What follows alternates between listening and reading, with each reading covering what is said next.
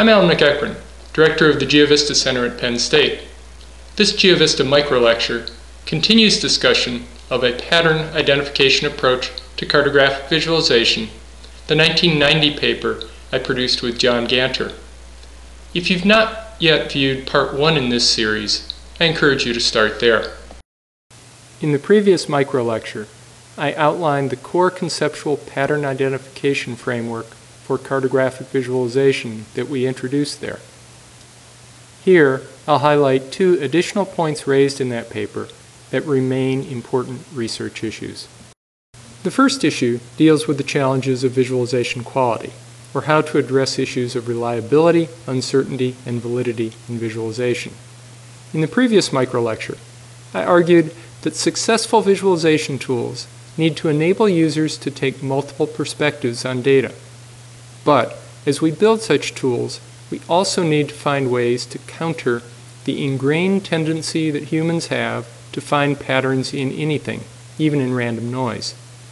Thus, our tools must do more than help users detect pattern matches, for example, noticing a cluster of census tracts on a map with high disease incidence values.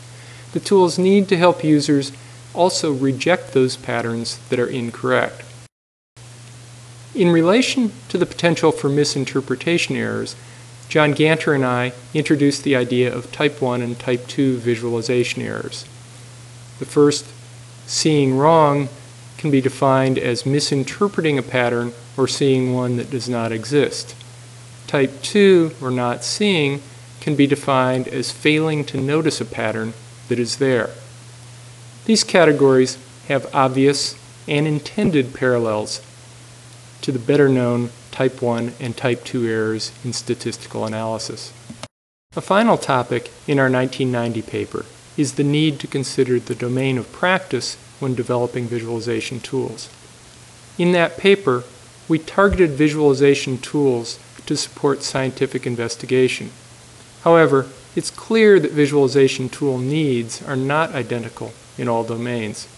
For example, goals of science differ from those in urban design and regional planning. Thus, supporting different goals requires a different approach to functions such as information abstraction and requires different tools to support contrasting functions.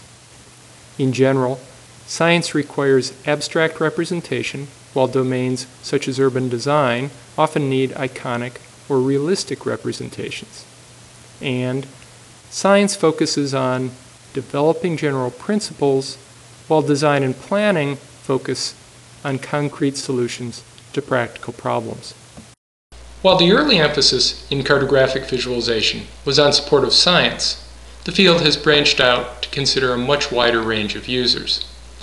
Thus, recognizing the differences in user needs and work practices is more critical now than it was two decades ago. If you're interested in learning more, I encourage you to check out the original publication and the subsequent publications mentioned here. Till next time, this is Alan MacEachren of the GeoVista Center at Penn State.